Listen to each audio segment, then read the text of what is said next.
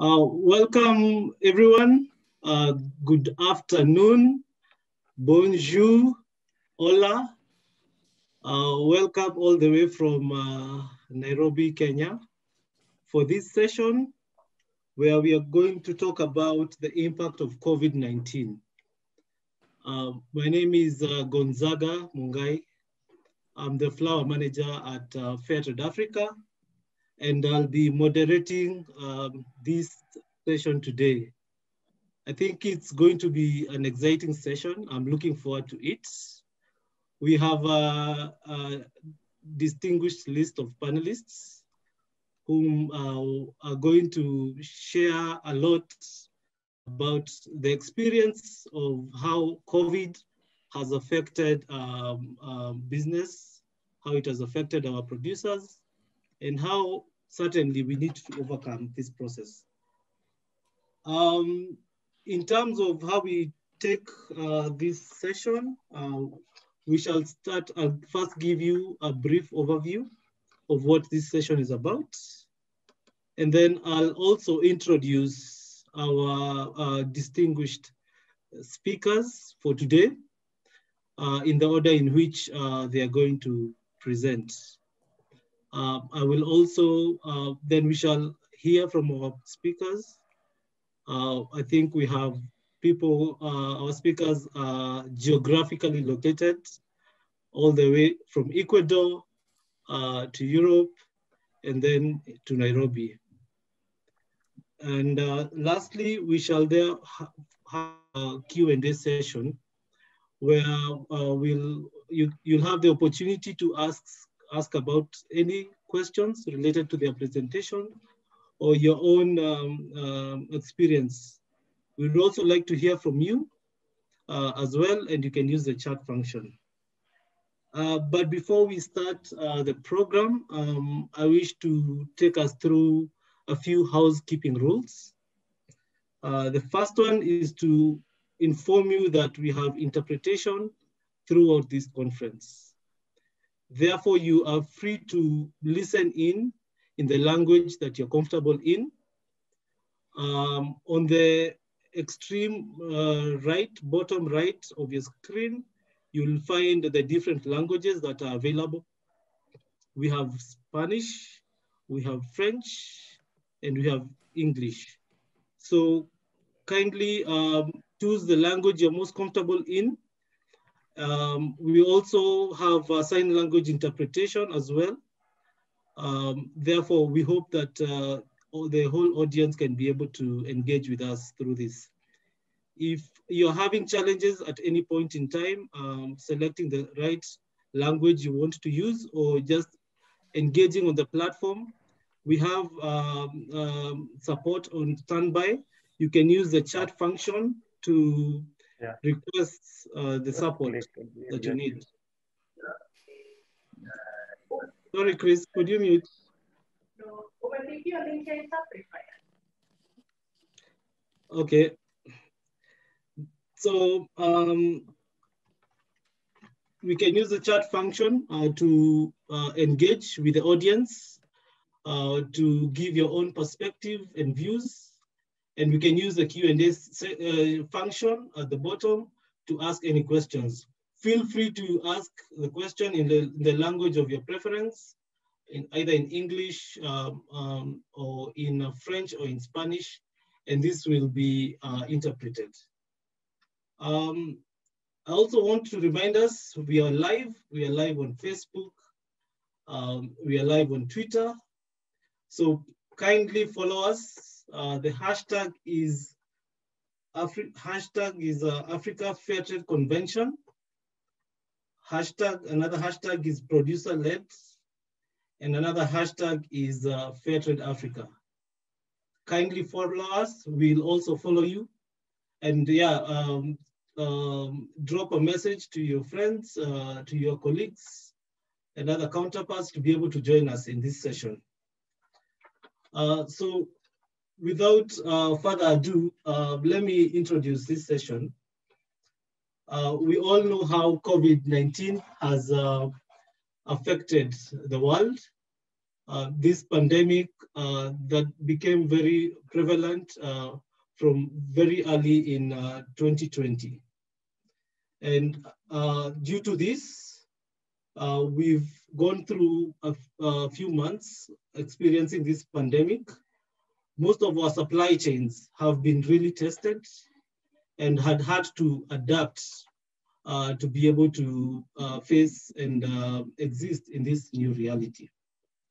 Uh, we're also recognizing that um, besides that, we still continue to face some of the other prevailing challenges, especially that uh, uh, producers have been facing, such as climate change, um, issues to do with health and food security um, and food security.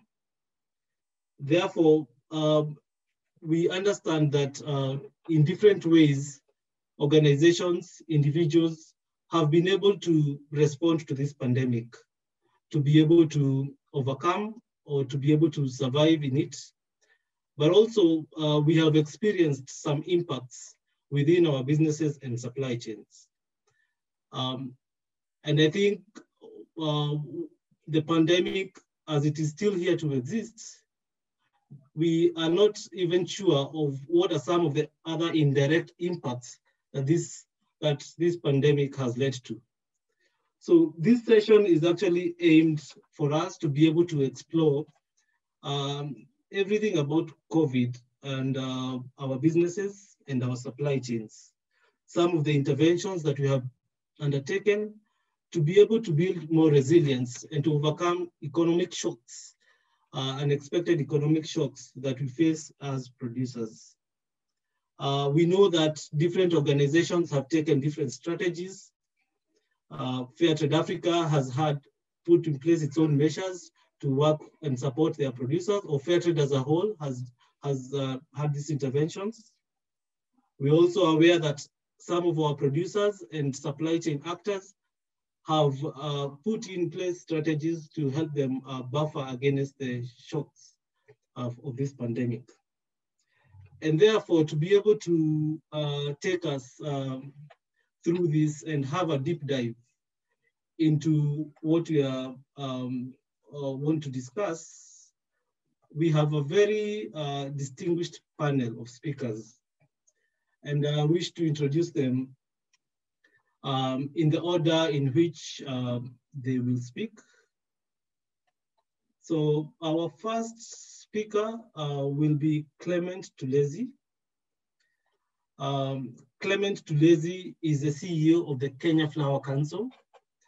Uh, the Kenya Flower Council is the sector representative of uh, all uh, flower producers uh, for, from Kenya. And as you know, all know, Kenya is, I think, amongst the biggest exporters of cut flowers to Europe. And therefore, uh, KFC um, and the flower sector being one of the most affected uh, sectors uh, due to COVID, uh, has had a lot of experience uh, working with their producers who have been heavily affected, uh, not only from the producers, but also from the workers. So we'll be hearing from um, Clement Tulezi um, on this. So Clement um, is a communications and marketing uh, specialist. He's been working in um, mainstream media for over 25 years. Um, also, he's uh, been working in governance and entrepreneurship. Um, he really appreciates. He's a very good public speaker and uh, also uh, very uh, strong in strategic thinking and engagement. So Clement, thank you very much. Uh, I know that you're on holiday and I want to appreciate the fact that uh, you have spared the time to be able to join us into this in this session. The next uh, distinguished panelist I want to introduce is called Olav Boenders. Olav, forgive me, I hope I pronounced the second name uh, correctly. Um, yes, Olav is uh, the CEO of uh, Wagagai. He's been the CEO of Wagagai for the last 10 years. Wagagai is a fair trade certified producer based in Uganda. And uh, they mainly uh, specialize in uh, young plants. He's been in the floriculture industry for the whole of his career, over 25 years, um, both in Africa, uh, where he's helped set up several businesses that have uh, grown until to the point where now he's one of the main shareholders at Wagagai, which is actually one of the largest uh, farms in the world uh, dealing with uh, young plants. They are currently doing approximately 500 million plants of cut flowers all over the world. They have two major clients. Uh, they have Big Beacon Cup Group in Holland and Selecta One in Germany. Yeah, so Wagagai is also quite strong on their CSR uh, initiatives. And uh, we really appreciate um, Olav for this opportunity to hear from you uh, in terms of how you've, uh, your, your, your producer organization has managed to um, um, uh, engage or with uh, this uh, COVID-19 pandemic and how it has affected both the organization and workers. Then thirdly, um, I want to really appreciate our third presenter. His name is Vinicio Martinez. Uh, Vinicio Martinez um, is the president of FAPECAFE, FAPECAFE is uh, the is a cooperative, is a, an association representing fair trade and organic certified coffee cooperatives in um, in Ecuador. So um, Vinicio is joining us. It's 8 a.m. in Vinicio in uh, in Ecuador. So thank you, Vinicio, for uh, sparing the time to be with us. And he'll be taking us through the experience and the impact that COVID has had on coffee producers from Latin America. Uh, Vinicio has a background in agriculture engineering and he's also a farmer. He's a coffee producer. And uh, he's been representing uh, producer organizations as a, and uh, for the last 10 years, and is also a former uh, president of the Ecuadorian Fair Trade Network, and currently a member of the of, of, of CLAC. CLAC is the equivalent um, producer network organization uh, in Latin America, representing all fair trade certified producers in Latin America. So welcome Vinicio into this. Then last but not least, um, I want to introduce uh, Chris, my colleague, uh, who is the, the director of programs at uh, Fair Trade Africa. Uh, Chris will be talking about uh, Fair Trade Africa and how our experience and that uh, and how our producers have also been impacted overly uh, by COVID and some of the interventions that uh, we've uh, put in place as fair trade.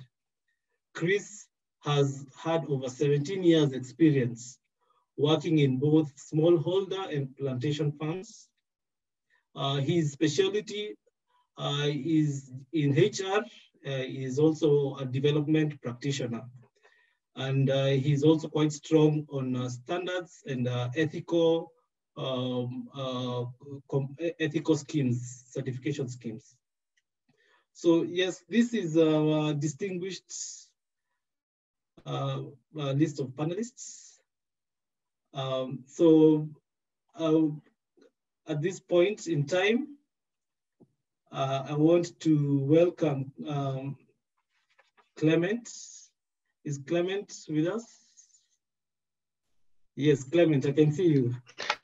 Yeah, yeah. yeah. Brian will be able to project your screen and uh, you can be able to share your presentation. So thank you, everyone. Um, uh, uh let's keep uh, let's keep tweeting and uh, enjoy the session. Okay, great. Uh, thank you, Gonzaga, um, for the wonderful introduction. Yeah, um, I will basically just look at uh, uh, two areas, and uh, that is how COVID uh, impacted on uh, the floriculture industry with a specific focus on Kenya, uh, and the numerous interventions that were put in place just to cushion growers and exporters through the period that we are still experiencing at the moment. Uh, but before I do that, maybe uh, just a slight introduction of Kenya Flower Council. Um, the next slide. Uh, Kenya Flower Council is basically, we, we, we exist in four parts, and sometimes it's always difficult for everyone to understand because uh, people understand one and the other. Uh, sometimes they call us, we are a lobby group. some know us with certification. Uh, some know us as regulators, uh, but it's important just to clear the picture that we exist in four. The first part of us is that we are basically a business membership organization.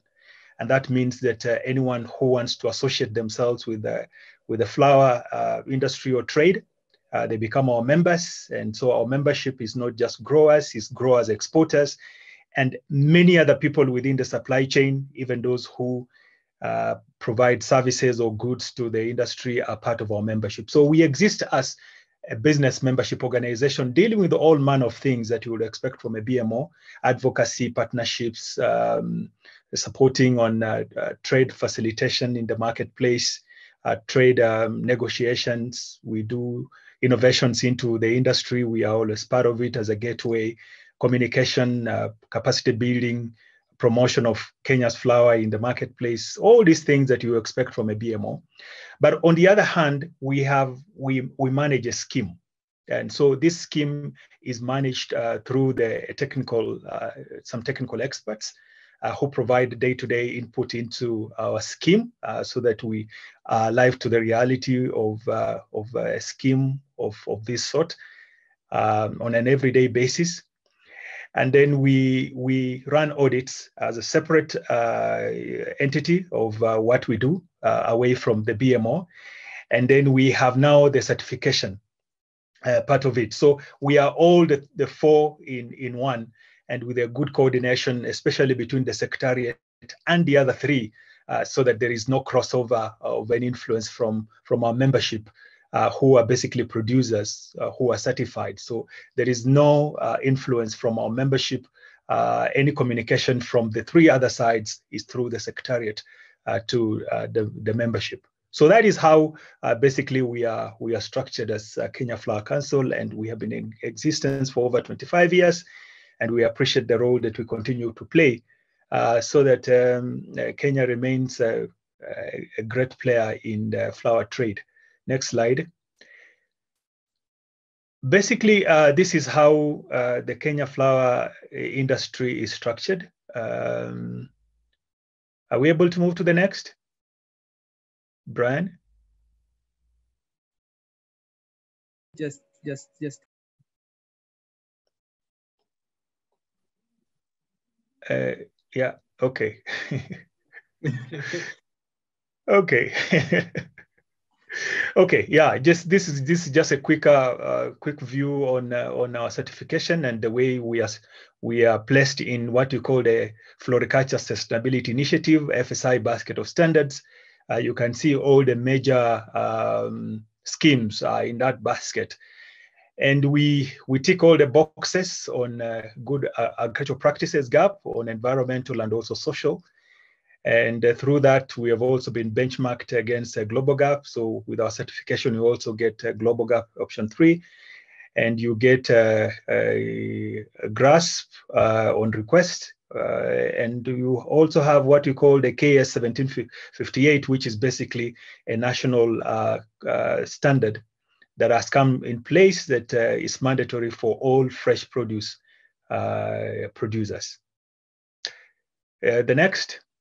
Uh, just a picture. The next one is actually generally a picture of uh, the floriculture subsector in Kenya. Um, we we estimate that uh, yeah we support that uh, to about 2.5 million uh, Kenyans uh, through this subsector.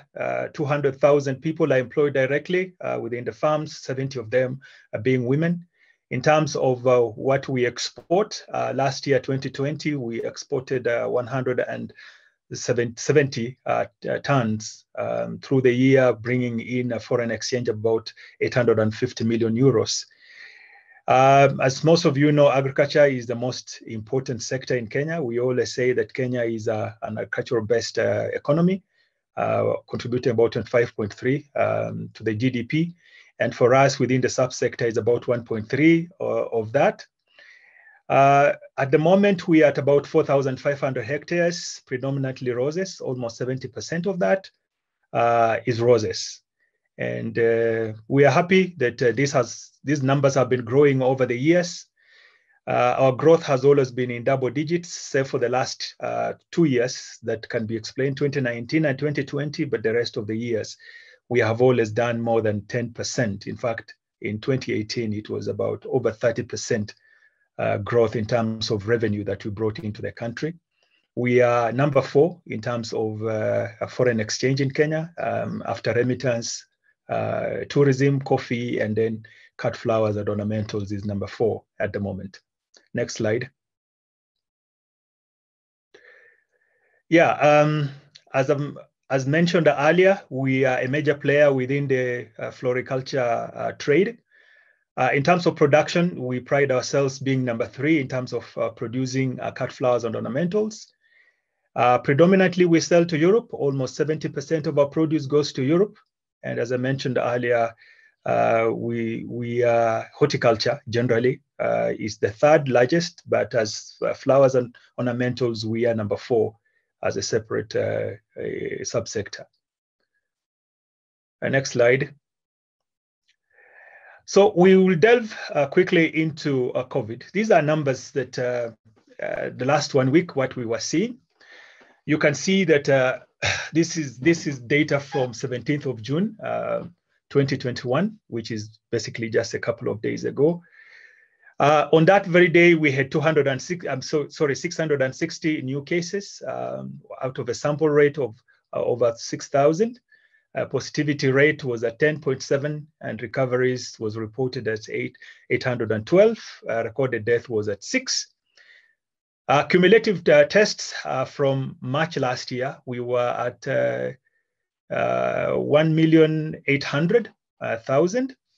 Uh, total confirmed over 170,000. Uh, total recoveries at 120, and cumulative fatalities at about uh, 3 uh, 3,400. These numbers have been growing over the last uh, one and a half years, close to one and a half years. We have seen that uh, the numbers, especially on the 177,000, uh, that number has been going up. We thought that we would not reach 100,000, but we got there.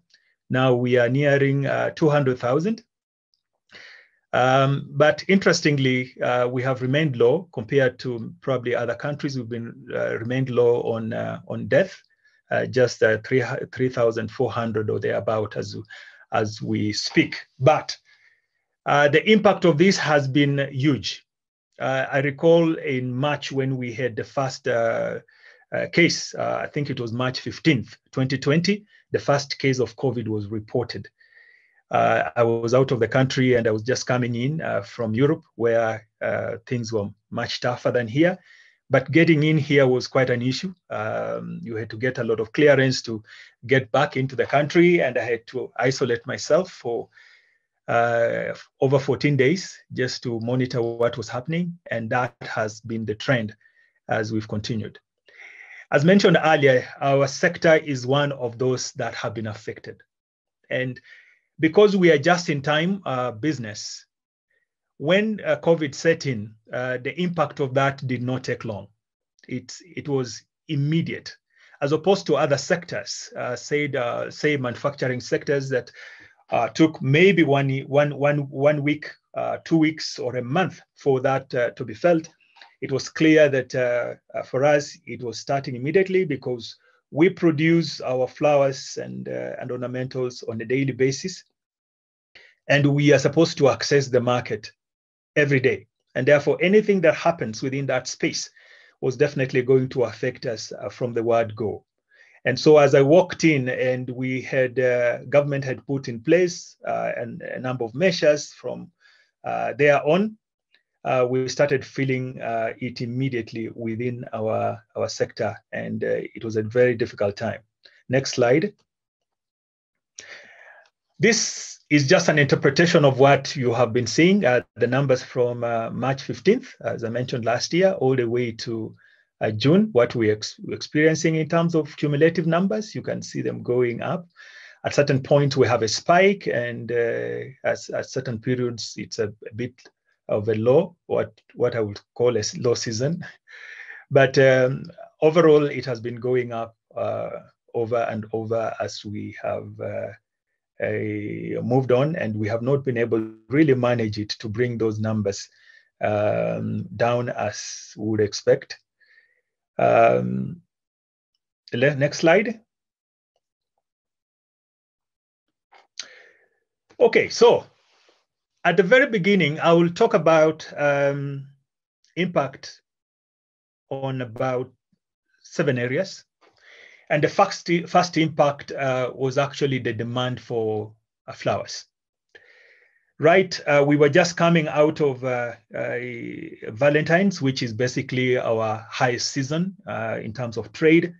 In in in February all the way to March, we were just coming out of that, and then suddenly COVID was here with us. What happened is that immediately we started seeing the numbers going up in our major market in Europe.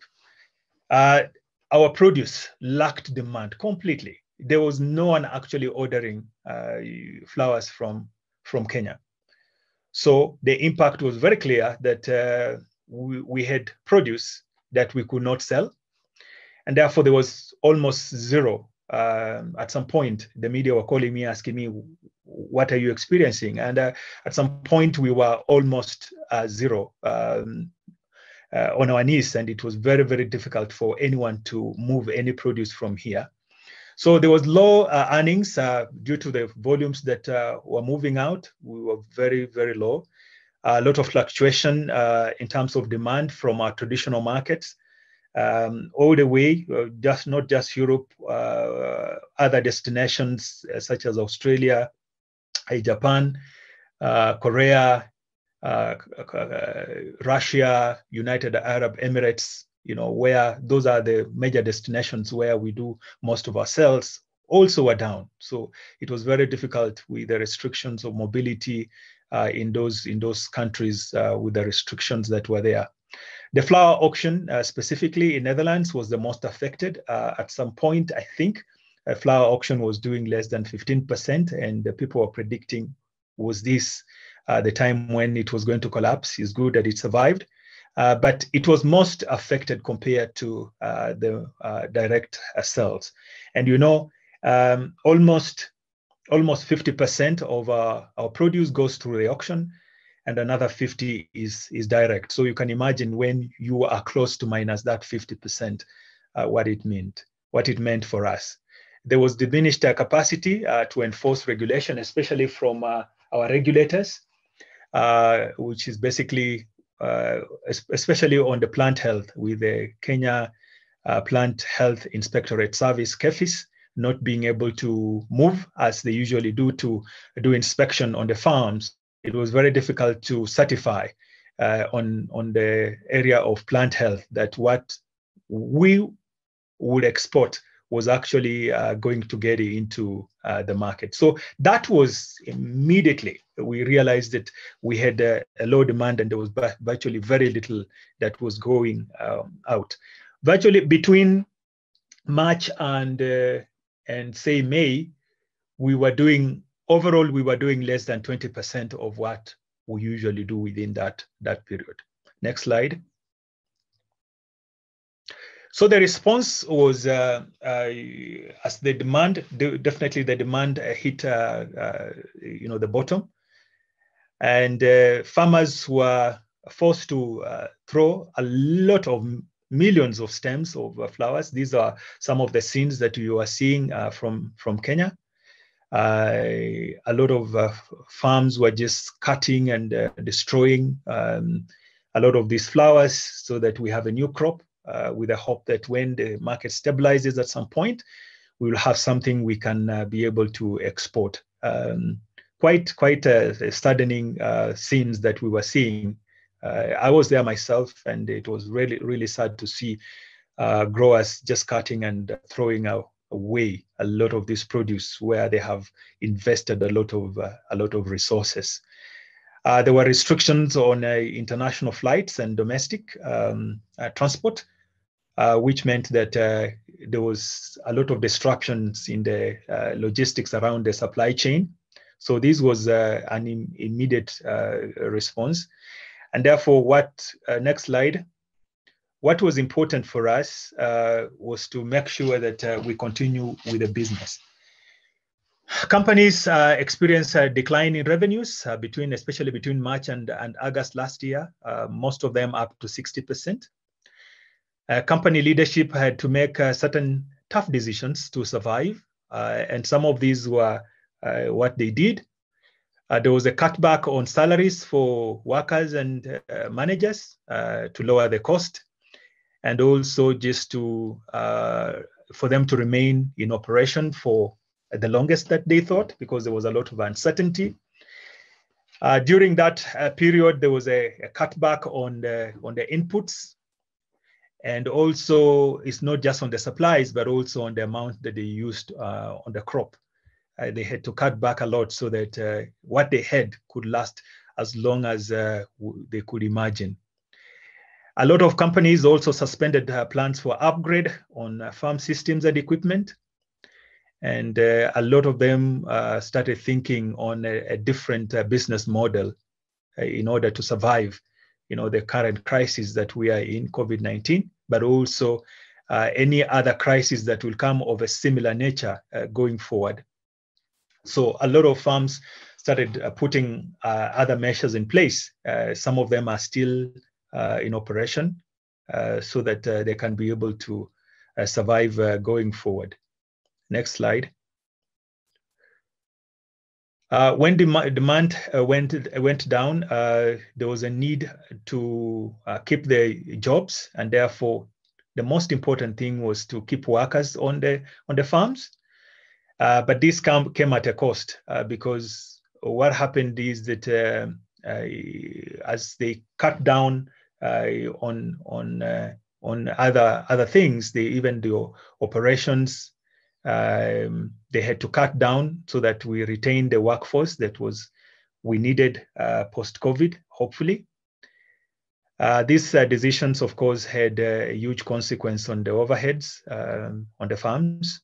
A lot of farms that I've, I've talked to uh, said they lost over $300,000 uh, within that uh, period uh, between March and August last year.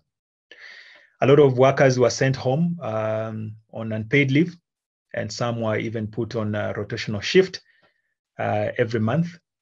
And uh, what that means is that there was not enough in terms of income and from the worker side Next slide.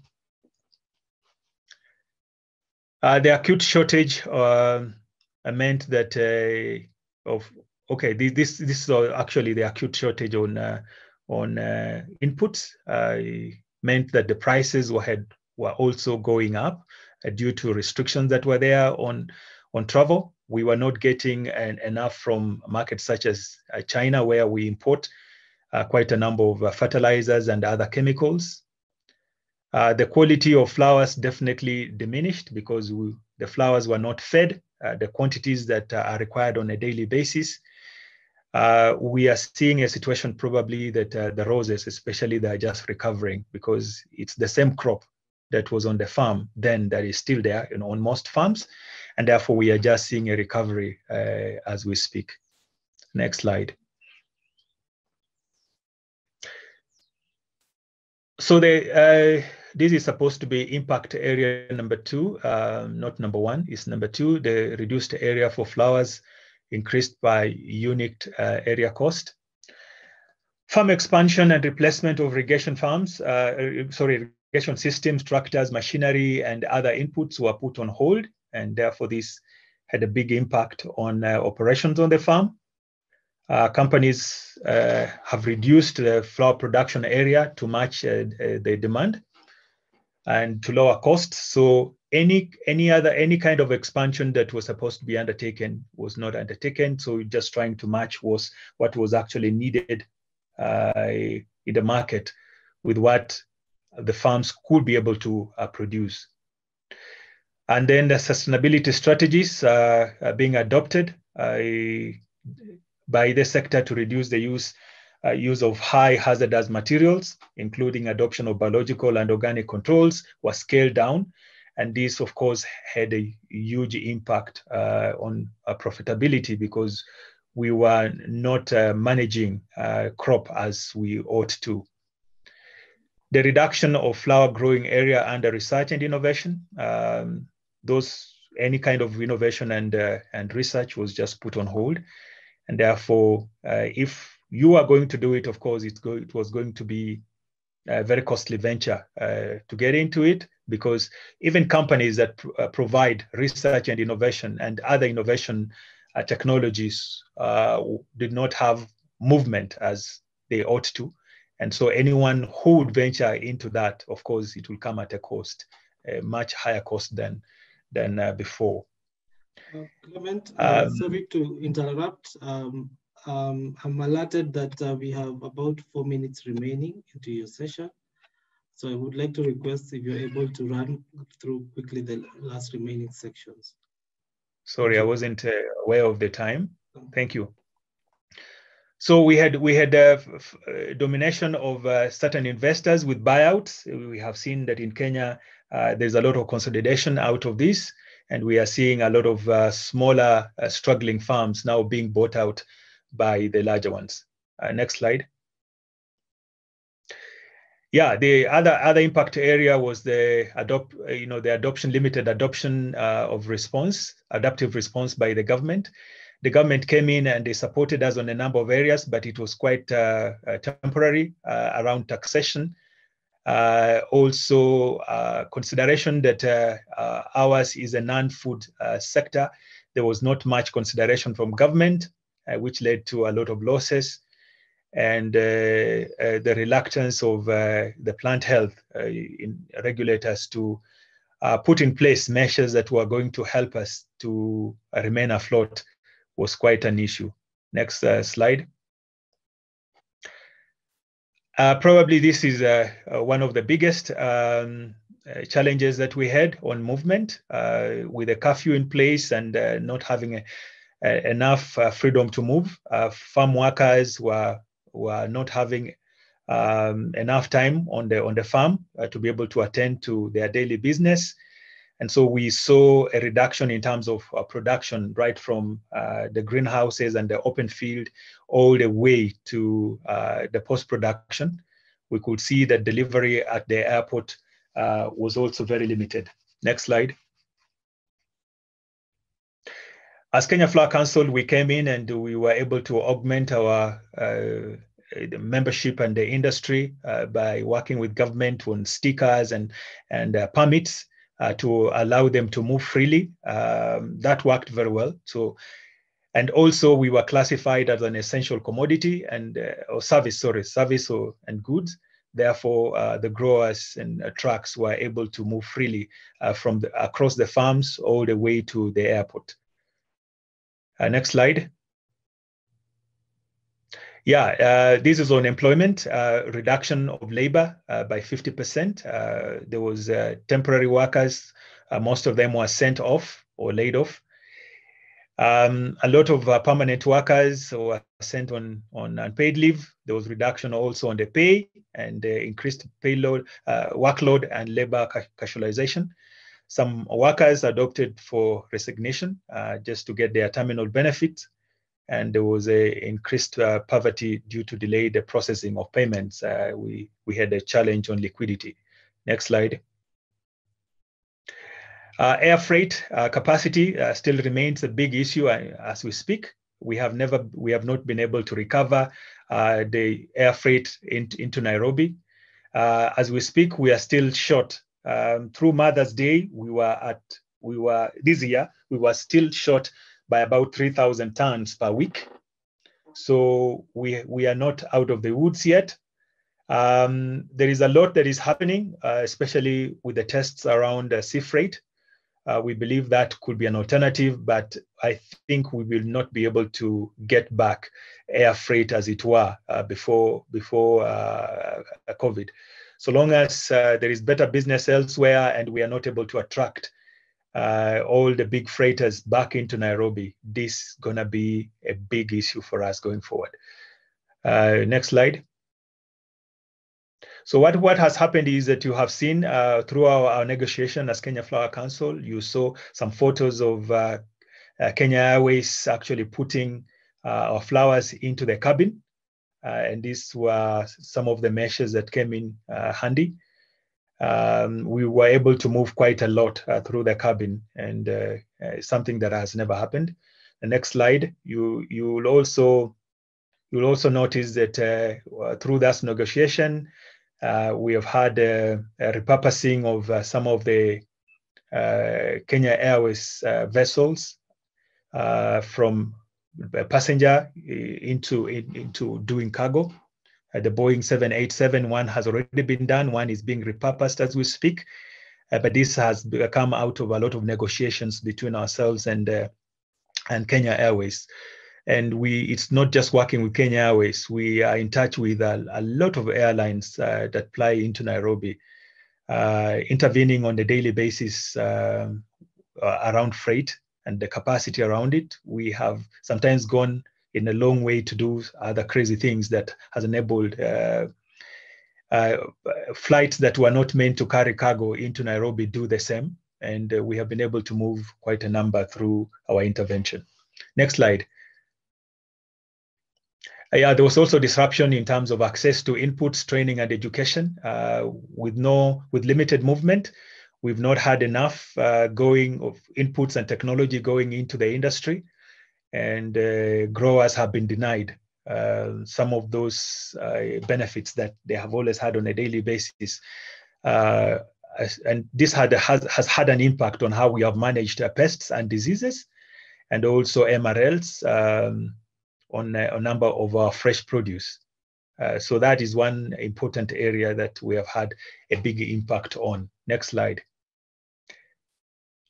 Uh, this is the last area, uh, social instability, um, due to reduced income and also uh, the, the, the, disruptions on uh, at the farm, especially as concerns the workforce. We've had a lot of instability and you know social disruptions where a lot of people have not had enough money in their pockets to meet their, their daily basis, I mean, their daily needs, disrupting family cohesion um, or other obligations that they have at the family level, uh, petty theft, and many other vices that you can imagine uh, out of this. Next slide. But uh, through the process, uh, we were proactive. We came in with a plan uh, together with the, the national government uh, to do something we were calling the Flower of Hope. And we were sending uh, some of these flowers, instead of destroying, we were sending them to uh, the first line workers around hospitals in Nairobi, but also in the UK. we did in, not just in Nairobi, in Kenya, we did over 30 hospitals in Kenya, and we did also in the UK just to give uh, hope and uh, solidarity through this period. Uh, this they had a message from uh, from our president or on sleeves on every bunch of uh, of flowers. Uh, we also joined with some of our partners that we work with, like um, Hivos, to donate quite a number of of food rations to affected workers yeah, so that is an initiative that we also took just to cushion them. Um, we have learned that uh, over the years, it is possible that uh, we can be able to uh, surmount the challenge. I don't know what happened to the photo there. Yeah, that uh, if we if we put uh, measures in place, it is possible for us to surmount the challenge. As we speak now, over uh, 70, over 90% of workforce are back on the farms and uh, our exports are back to 95% as we speak. And therefore, we can say that uh, we are getting better and better as time goes by. We believe that uh, come 2022, uh, hopefully by a time like now, we should be in full recovery. What COVID has taught us is that uh, with quick, sober, and well-informed decision-making, uh, coupled with the customer care and working with our market, is possible for us to weather the storm. This figure is very interesting because uh, in 2019, our sales, this is in Kenya shillings, was at 104 billion uh, in terms of foreign exchange. 2020, we moved to 109. Uh, you can see that uh, there is a slight improvement in 2020 compared to 2019. And that is a mystery um, that uh, if we have time, I would have explained to you why we achieved that. So thank you so much for listening. Um, I will wait for any questions. It, I, I, rushed through just because of time. But uh, if there are any questions, I will take at, uh, or clarification, I will take at the end of the session. Thank you. Thank you. Thank you very much, Clement. Thank you for the very elaborate uh, uh, presentation and session. Um, I really liked um, your um, last closing sessions, talking about the togetherness, the need for people to work together, um, and also uh, the need to present hope, especially uh, in such uh, uh, situations, the current situations we're living in and the need for all of us to give hope uh, to, to others. But also you presented um, quite an interesting scenario where we are talking about agility. Uh, we are in a sector that uh, needs to move very quickly, but at the same time, the surrounding environment, for example, the regulations may not be adaptive that much. And the need for a big brother to play a kind of uh, mediation role um, so um, we'll have, uh, please uh, continue uh, posting your questions. Any questions from for Clement can be posted on the Q&A session. Thank you for the chats that are coming through. Uh, please also follow us on uh, Twitter, uh, continue tweeting and follow us on Facebook. We are live. and for now, I want to invite Olav to give us his uh, perspective and experience as a producer. Uh, we've had a sector-wide perspective, and now Olav, uh, as a producer, has uh, is will be able to give us their insights about how they've been able to engage and uh, and uh, tackle the COVID-19 situation in their farm. Welcome, Olav. Yes, thank you, Gonzaga. Um, I also want to thank uh, Clement for a very good presentation, very uh, extensive, and I think it's very good because I will come in with, with a more uh, shorter presentation and more based, uh, you know, on the practicalities and on what happened on the ground on the flower farm in uh, Uganda. A lot of what uh, Clement had said in Kenya is also, especially for the roses, very valid in Uganda as well. So a lot of those things I will not go into in detail because already they have been mentioned. And uh, so I'm very happy for that. So that will also make it for me easier to, to run through my presentation a bit uh, quick so that there will be enough uh, room for question and answers left in the end. So now let's go to a farm uh, which is called Wagagai in Uganda. It's, it's a farm um, based uh, on the shores of Lake Victoria, as you can see here, uh, next to the airport of Entebbe. And um, we've been there for over 20 years. Uh, in the beginning, we were doing flowers, but we have diverted fully into plant cuttings. If you look at the next slide, uh, Brian, yeah, here is a, snapshot of the farm. Uh, today we have 37 hectares of greenhouses. Uh, we're not one of the largest farms as such in area, but uh, we are probably one of the largest uh, propagating farms in the world. Uh, and as uh, in the introduction, it was said, we make nowadays around 500 million plant cuttings per year, which are exported all over the world, but mainly to Europe. Uh, we employ 2,200 workers, uh, of which indeed 75% is uh, women. If we go to the next slide, Brian. Here you can see what we do in a snapshot. Uh, we harvest plant cuttings and so we're not like the roses uh, that, where, that we are exporting a finished product. uh, we are exporting a, a, a, yeah, a first step, a plant cutting. And the cuttings you see, the ladies are holding in their hand, those are being shipped. So that is our export product. And those are being shipped to Europe. And then in the end, uh, the cuttings will grow into either potted plants or flowers which are sold in the European uh, markets or America and Canada. So that's our business. Uh, if we look at the next slide, maybe just a, a quick brief order of events in Uganda, where indeed it happened approximately the same as in Kenya, but I think we had a, a bit more tough lockdown um, in Uganda, and it started uh, on 1st of April 2020, and that was quite a big shock. And I remember very well, I was I was just in uh, Uganda um, beginning of March, and I returned 15th of March, and just two weeks later, the first cases indeed happened in uh, Uganda as well, but also in Europe, things started to get um, uh, very worrying. And then from 1st of April, the president announced a complete lockdown in Uganda, meaning nobody was allowed to move or travel uh, anymore. And it was, uh, yeah, we were told overnight. So that was uh, quite unexpected, quite a big crisis. Meantime, we had heard some rumors. So as Wagagai and also some other farms, we had prepared in, in a way that we also were ready to keep people on the farm. So what we did as a farm, uh, and again, you know, I think uh, being an entrepreneur and being in Africa for 25 years, you you you learn to deal with events and you learn to deal with problems. But this is something we've never had seen before, and and very extreme. So the actions we took at the time was to keep no keep Brian go back to the first slide. So what we did was uh, we ended up having 500 people who kept sleeping at the farm because government said that you know agricultural sector is indeed uh, an essential sector, but people had to stay. People were not allowed to move uh, rightfully to to avoid spreading uh, COVID further in the country.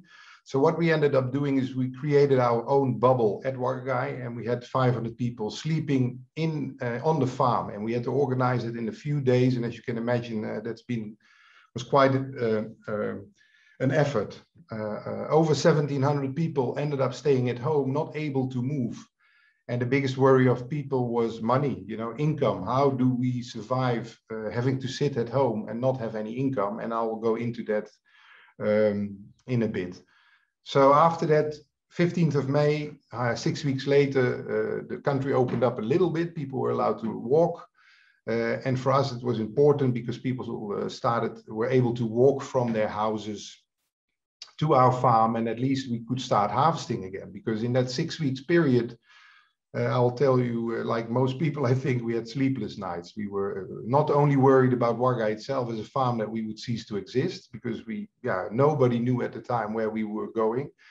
But a very big worry also was how are going uh, are the people in Uganda going to manage? You know, when people in Europe, people were getting support from government direct. You know, salaries were continued to being paid companies were being supported financially to to to, to keep uh, people employed. But uh, yeah, in, in, in Uganda that was not the case. Uh, we got definitely good support from government. Yeah, I want to be very clear. But um, yeah, it was very uh, delicate at the time. We, we were also very worried. First of October, the first passenger flights opened up. Then normality returned somehow. And in the horticultural sector, I must say, uh, especially in the cuttings, yeah, we are on the right side basically. We've we we we are selling more than ever. Uh, the prices have gone up enormously. So uh, as plant producer and plant cuttings, uh, we are blessed and very lucky. The one thing which to, uh, in Uganda, uh, maybe a bit different than in Kenya, overall COVID developed uh, not extreme. I think also the, the government took very good action by having a very strong and strict lockdown for a very long time. So I also think the numbers stayed down for so long. But over the last few months, um, yeah, the numbers are going up. And we can see indeed that that uh, yeah the, numbers are increasing heavily, and and it is a, a, yeah a situation we really do not know where it's going. It is very delicate. Luckily, like uh, Clement also said, uh, number of infection is very high, but people who get very, very sick and who in the end uh, pass away are luckily limited. And to, uh, yeah, at our farm, I can only say that we have had over this year, one and a half year, only one case who got very sick. And the rest uh, of the people in the end have all returned back to work and things are under control. If we look at the next slide, it gives a, a very uh, slight snapshot of what happened. Uh, empty farms, you can see people camping in the offices because uh, they were just sleeping in the office to maintain uh, a core group of people to keep the farm going. People were sleeping in the greenhouses. Uh, we, we, we, we took out plants uh, which were destroyed and turned the greenhouses into uh, one big sleeping event. So uh, it was also very strange because the atmosphere at the farm was fantastic. we had actually 600 people working and sleeping together for six weeks and and yeah, the, the people were really bonding and having a yeah, very special time. So people also, whenever I talked to them, were saying it, it, it was difficult, but they were very happy to be at the farm, to be able to work, um, and of course, to also receive full pay. If we have a look at the next slide. Um, what did we do at the time? Because that's, yeah, you have, as I, I mentioned already a little bit, there was a lot of panic in the beginning. We had no clue where what was going on, but quite soon, when we managed to keep the farm afloat eh, with 500 people there, uh, uh, we knew the farm at least would continue to exist. We started also having emergency talk together with farms in between, but also the unions, uh, Fairtrade, UFIA, of course, stepped in, and we ended up talking a lot to see what can we now do. And the, the outcome was that we could see the cutting farms who have also income which is always there. Uh, we were very lucky. The roses, uh, as Clement already mentioned as well, ended up going from 100% income to zero. They had no income at all because roses were stopped. No sales happened, but on the cutting side, we, we always get paid every two weeks. So we were financially better off. So with the five cutting farms and a few rose farms together, we collected 50,000 euro in April, May straight away after that, and half was used to, to donate uh, food to government. And the other half was very interesting. What we did is we set up a, a group of people where we paid cash to the workers, uh, where we just said, we asked the rose farms uh, uh, who were affected heavily, okay, who of your workers are not getting any income? What is the problem? How can we help? And we ended up uh, directly supporting 600 workers who were sent home without pay and we ended up paying direct cash into their mobile money uh, via telephones. In the beginning, I think it was 60,000 Uganda shillings, all small amounts, but at least something, and to give them some money to buy food. All along, we had constant toolbox talks, SOPs. Uh, Waga is a cutting farm, so we were very used to hygiene levels. Uh, people already disinfect when they enter into the greenhouses. So we were able to, to set that up very quickly, and our workers all uh, followed the, those protocols very well. We started making on-farm masks because there were no masks in the country available. They were very difficult to get. So we just set up a line with people who started making the, uh, yeah, the face masks, uh, which we then uh, gave all the workers when they were coming in and out of the farm. There were no temperature guns in the country, so we had to import them, and we imported them for the whole of UFIA and donated them to uh, quite a few farms because of the, the products we have, we also had a lot of gloves at the farm because we always use them uh, in, in disinfection in the greenhouses. And we donated uh, 200,000 to Entebbe Hospital, who were short of gloves. They didn't have any. And our, we have a health center at Wagagai, and it became a referral clinic for Entebbe because Entebbe became a COVID hospital, and they did not see normal patients for normal issues. So uh, people were referred to our health center to be able to at least provide uh, urgent care. Uh, at Wagagai, I can say, and I cannot talk on behalf of all the whole industry, of course, but I know that at Wagagai, most of the cutting farms and rose farms, I know most people got full pay during the lockdown, and we were able to keep pay going uh, full for also the 1700 workers which were sitting at home. Luckily, we opened up after six weeks, so in, in the cuttings, people came back to work and we actually were able to continue pay for everybody. So I think that there, there is a slight difference with Kenya. Uganda is very small uh, compared to Kenya. We have only 12 to 14 flower farms, and they were not hit as hard for the long time as Kenya because we had our freighters going on. And I know also in the roses, sales after three months, four months started picking up again. So I think we kind of sailed through the crisis a, a bit less affected than Kenya. Uh, so yeah, uh, that, that let's say is a bit of a summary of the Uganda situation. If we can see the next slide, Brian. Here you can see a few pictures where, yeah, the, the food which we donated, the government was very clear. We were not allowed to give directly food to, to people or communities around us. We, it had to go through the, uh, the, the food fund from, from government. So we ended up uh, donating worth 25,000 euro, I think, uh, of maize flour, and, and that was given to government. If you look at the next slide, here you can see uh, where we were giving the gloves to the Entebbe Hospital. Uh, next slide. With Fairtrade, also in the beginning, we started first talking how we could maybe work together on this support directly to workers, but in the end, it kind of ended up that in, in Uganda itself, the amount of workers affected were not that many. So we ended up saying, okay, the, the, the, the, cutting farms itself ended up supporting some of the flower farms, and then Fairtrade set up the uh, the Fairtrade Recover Africa project, which is of course fantastic, especially how quickly it was set up uh, and how direct the support was was was was really a great relief. And also, uh, not only Wagagai but all farms directly, the workers and the community around um, gained a, gained a lot of help through uh, yeah very practical matters like soap, masks, and a public address system because our Fair Trade Committee said that the public address system was critical to be able to announce uh, in the community around uh, the, the, the, SOPs. Yeah? So how to follow protocol to, to disinfect and to make sure that you avoid um, transmitting COVID. So that's definitely where the Fairtrade support came in very well, as you can see in these slides. Then the last slide.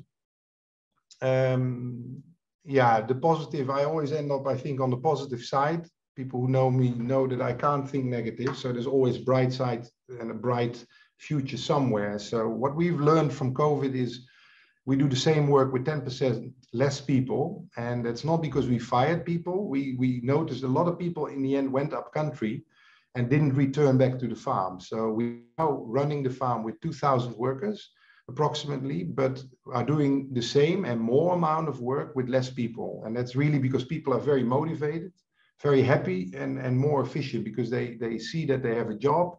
Also during the whole COVID period, they have been continued getting all the benefits. Last year, we even were able to increase salaries slightly.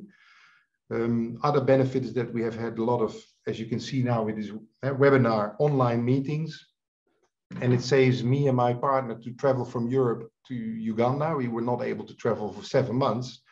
So now we run the farm from, from Holland and therefore you, we fly less. Yeah? Very simple, very small, but a very practical result is that we will probably do 15 to 20 trips less per year. What to me is a fantastic positive effect is that the local staff on the ground um, has been running the farm for seven months when Pim and myself were not able to, to go to the farm, the local staff was running the farm and they, they did a fantastic job. They got more responsibility and, and we also gave them more responsibility. And uh, so our organization has grown much stronger, much faster than we ever would have hoped and expected. So COVID, with all its misery, has also brought you know some positivity on these kind of things. The, the horticulture industry, as far as I can see, it is ended up on the right side. This is pure luck. Yeah, this is nothing you, we could have thought of or, or, prepared for, but we are very blessed and lucky, and it and it makes us appreciate even more what we have. What I think is very special out of all this is the relationship with the union has improved a lot because we see that we are working together to keep our workers um, uh, on and that to, to, to see how we can, especially also on the rose side where it was a bit more difficult to see what we could do at least for the workers, um, yeah, to continue to support them. So we've now almost concluded on our new CBA and the salary negotiations. And on the cutting side, I'm happy to say that we've now increased salaries uh, this year, and even uh, the lowest paid workers have gotten an increment of 70%. So those are the positive notes I would like to end with. And uh, yeah, hereby I would like to say to you all, thank you for your patience and listening to my presentation. Bye-bye. yes, thank you, Olav, uh, for the very wonderful uh, presentation. Uh, thank you for also ending with a very positive note. I think um, uh, if, if, there's anything I've taken out of your uh, presentation is that when life gives you lemon, you turn it into lemonade. Um, it's good to hear about how uh, an organization that is uh, in the midst of uh, crisis um, thinks also about the plight of their uh, most important resource, who is their workers. Um, I saw one of the comments saying that the the active the responses you took were quite brave, and I couldn't agree more. And I think I just want to commend your organization. And we are seeing a lot of positives, including the aspect of skills transfer, which you highlighted uh, as uh, some of the positives that we have seen out of this. So uh, we want to now um, take our boarding passes all the way to Ecuador. And uh, I want to invite uh, Vinicio, uh, sipping his cup of uh, fair trade coffee, to yeah, take us uh, through the experience of coffee producers in Ecuador. Eh, muy buenos días con todos. Eh, un gusto saludarles a todos los compañeros en este panel. Eh, la invitación que hemos tenido de Fairtrade África para comentar nuestra experiencia en esta convención. FAPE Cafés es una federación. Eh, uh, FACFED is, uh, is an addition of different organizations of small producers. We are 1,200 producers who are uh, dedicated to coffee as our main product. Uh, we have also other alternative products uh, that we produce in farms. Our production model is agroecological with certification with fair trade. Uh, and we have been like that for about 18, 18 years. Additionally, we are the main export coffee exporters in Ecuador. Uh, understanding that Ecuador in the world context uh, doesn't carry a lot of weight in, in terms of the volume it exports. As for the pandemic, as we have uh, listened to other panelists, at the global level, uh, it has had an impact uh, in most of the uh, people. Uh, and in our case, it has generated alternatives, especially in the capacity to counteract the negative effects of the pandemic. Uh, before uh, beginning to talk about the uh, situation uh, in our organization in the Ecuadorian context, uh, when we started uh, on the issue of the pandemic in Ecuador,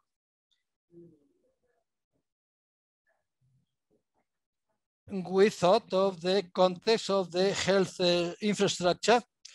We had uh, very many weak points, and the weak points, uh, the priorities of the government were to uh, care urgently for people in order to save lives. The population of Ecuador is approximately 17 million people, and we have a number of uh, doctors, which, pardon, uh, uh, affected people, half a million, and 20,000 people dead. So in these circumstances, the government uh, adopting a number of measures in order to counteract the negative effects of the pandemic.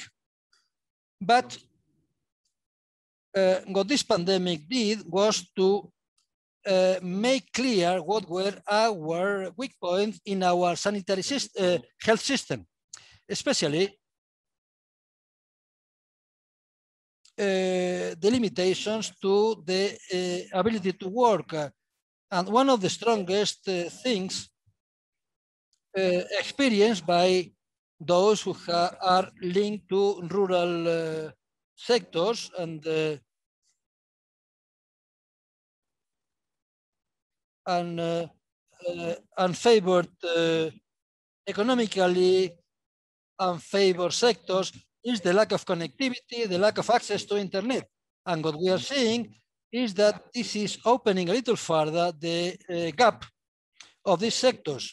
For example, one of the measures of the government was to suspend access to schools uh, and to receive uh, uh, education virtually. And this is, uh, the effect of this is increasing the gap between those who have access to internet and those who don't have it. We are sure that uh, it's going to be necessary to attend effectively uh, to these uh, needs that have become so apparent.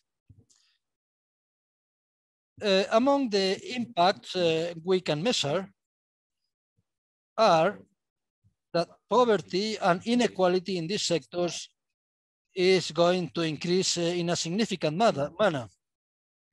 The digital gap uh, is uh, going to be uh, obvious that is, is growing deeper and deeper. And some other measures that are being generated, such as access to social services, because we are in a time of crisis where the government will have to uh, uh, to attend to the most urgent needs, but these uh, urgent needs can be measured uh, in or structures that are much uh, better organized. Some people will have to access temporary jobs where it will not be possible to measure the effects uh, effectively the government, in order to counteract the negative uh, impacts, started to work in a family protection bonus or allowance for those sectors that are vulnerable, among which uh, in the rural context, we have uh, uh, some segment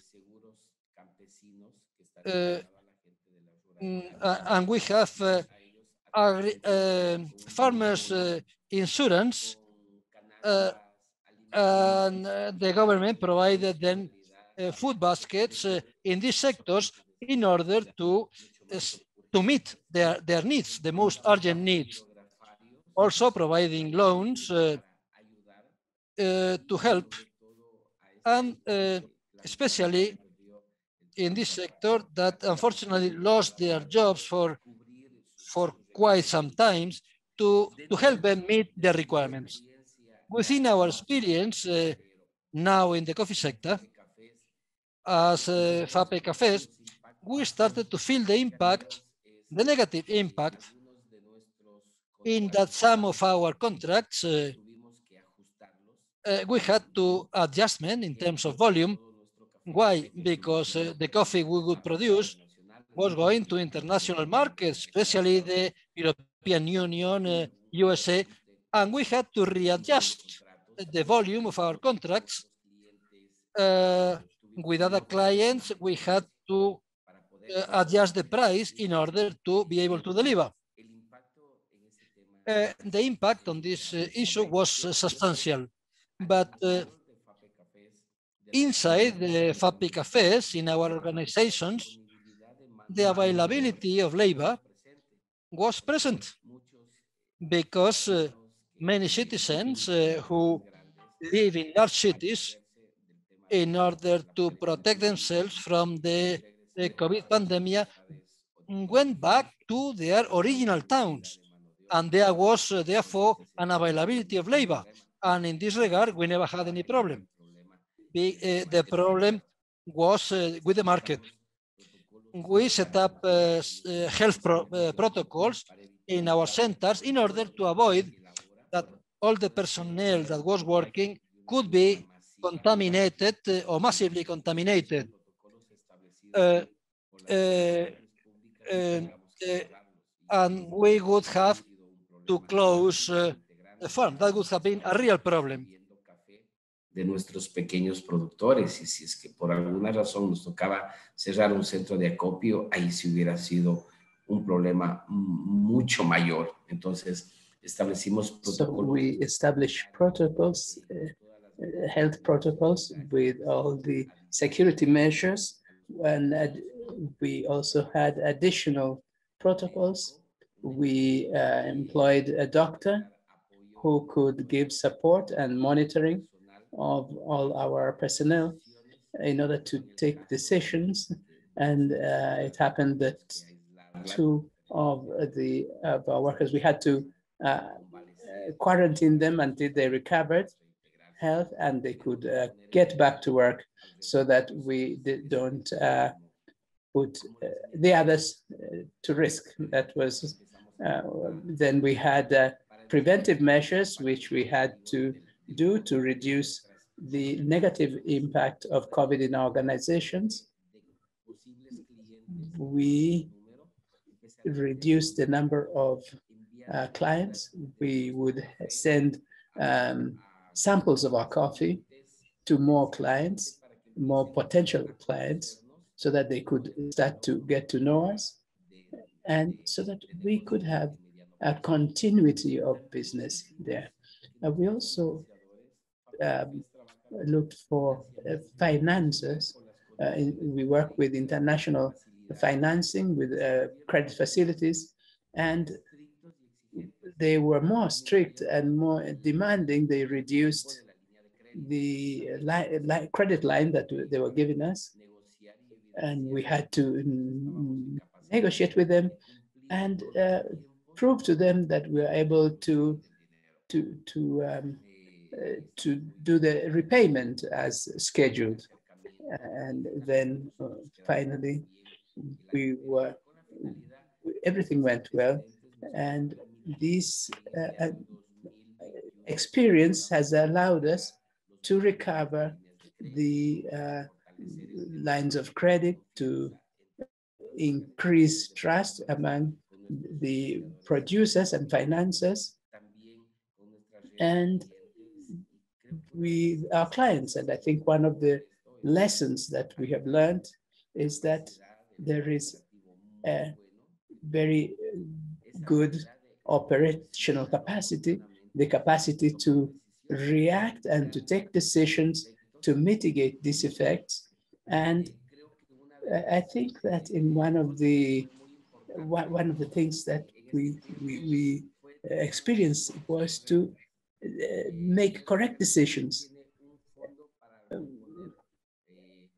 We have a fund for re- re- replenishing our machines. We keep re- renewing them, and so each year, and we have been doing this for six, seven years, um, doing savings in order to be able to uh, replace uh, old machines within the processing plant so that we can be um, uh, most modern.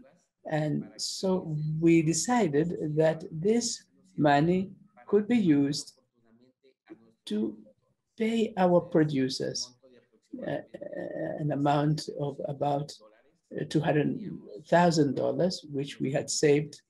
Uh, we used them to pay some of the producers and so that we could receive their coffee so that they would not be without income uh, uh, so that they could be able to uh, cover their, their needs uh, in, in their farms. And, and this coffee, uh, we, we stored it in, in in our stores and we were able to sell it slowly later without uh, a hurry. Um, and we were able to uh, sell it uh, with good with a good offer. Uh, and now the uh, cost of the price of coffee is going up, and we are able to negotiate uh, calmly because we have stored it. And then we, received we received some uh, contrib- donations from the Latin America coordinator, gave us some kits for biosec biosecurity uh, to give to uh, the 1,200 producers so that we could mitigate the negative effects of the pandemic. We continue working in innov innovative actions uh, so that we can reduce the negative effects of COVID. We are getting into an, an agreement with the government, which is working rapidly to immunize the most of the population. And so after this, people can go back to their activities and to work on economic recovery, which is very important within our organization of coffee producers. This year, we have uh, found new clients who have been able to taste our coffee and they gave very positive comments. And we are sure that this year, uh, in spite of the big uh, difficulties uh, world, worldwide, that um, the, the, we are going to uh, recover economically. And I think that the pandemic is already uh, reducing. I think we'll be able to sell our coffee to different parts of the world. This is what I can tell you in general, uh, how from Ecuador we have uh, experienced the impact of the pan pandemic and to tell them some of the measures that we, uh, that the government took in order to uh, counter, uh, to, to counter the, this and also our, the experience of our uh, organization of, of small farmers. And uh, to say that the negative effects of the pandemic, what we did to prevent um, having negative effects of the pandemic and to uh, have positive effects. Thank you. I'm open to any question that you may have and I would be able to answer them uh, to the best of my ability. Thank you. Uh, thank you. Thank you very much, uh, Vinicio. Um, for giving us your experience uh, in Ecuador. You've introduced a very interesting uh, perspective, which I think we need to um, think of in our programming, in our planning, uh, the effects of this pandemic in already fragile uh, economies, such as the rural sector. I also like the fact that uh, you've also really uh, ended uh, with a lot of positive notes, how your organization has been able to enhance the resilience uh, of your of farmers, of your members, the fact that uh, strong partnerships have helped you to be able to weather uh, the shocks, economic shocks from um, the COVID pandemic, and also some of the decisions you took as an organization to ensure that, that your producers continue uh, surviving uh, based on some of the investments uh, or savings that you have made. Thank you very much, Vinicio. Um, please, uh, if you have any questions, uh, please drop the questions on the Q&A session. We are heading to our last speaker and then we shall uh, open up Q&A so that all our presenters can be able to respond. Also, please continue tweeting, continue tweeting. Um, we are still live and yeah, thank you so much. Chris, um, the floor is Muchas yours. gracias a ustedes. Un gusto. Thank you very much. It's been a pleasure.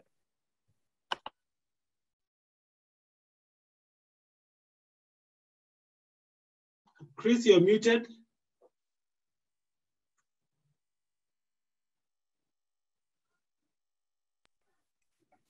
Sorry, Gonzaga. Thank you so much. Thank you so much, uh, my fellow panelists. Uh, very well spoken, did very well. Uh, happy li listening to you. Looks like uh, Africa has outgrown the fears we had for the COVID pandemic. Uh, we are now ready than ever to face it and be able to live with it and devise new ways and means of uh, still going on with our business, even with the disruptions. That, are, that have been occasioned by the COVID pandemic. Uh, it was very heartwarming to listen uh, to Clement, listen to Olav, and uh, listening to my good friend Vinicio uh, about the message of hope that we have for the African continent and our producers. Good to hear that finally we are set on a uh, recovery trajectory and that our business are starting to pick up. Uh, very humbling, Olav, uh, to learn that yes, business is doing even much better than it, it, it was doing uh, before the pandemic. Uh, and that is quite reassuring. Yeah, I know my colleagues have already spoken so much about uh, the effects of the pandemic. I would want to highlight a few insights uh, just uh, towards the path of recovery. Because now, from my perspective, uh, the most pressing need for our producers and workers is to come back to their feet and start operating their businesses within the context of the COVID pandemic, because it looks like it will be here for a longer time than we thought. So we must now start thinking about what we should do next and how we should adapt to this COVID pandemic. Uh, what ways of working we have to, to embrace to be able to manage and uh, our businesses and grow them and develop resilience so that we can keep going as uh, has been alluded to by my, good friends. Yeah, initially, as I said, it, it came as a shock when this started. And uh, as Fairtrade Africa, we had to think very fast and quick because we are also really taken back uh, in terms of uh, the, the, near collapse of most of the businesses across the continent and across the value chains uh, that we certify. Yeah, so uh, the immediate need then was to respond to the pandemic. How do we respond? in terms of emergency measures that needed to be implemented. Yeah, so in uh, collaboration with uh, a number of uh, our partners, our friends, uh, donors, and within the Fairtrade system, uh, we came up with a small uh, kitty to help us respond to the COVID pandemic. And through this, and over the time, we have been growing this kitty to cover both immediate response needs that came up out of the pandemic, but also in terms of looking at the midterm measures that we needed to start supporting our producer organizations implement. And now we are getting into a phase where we are now thinking of resilience and recovery from the pandemic.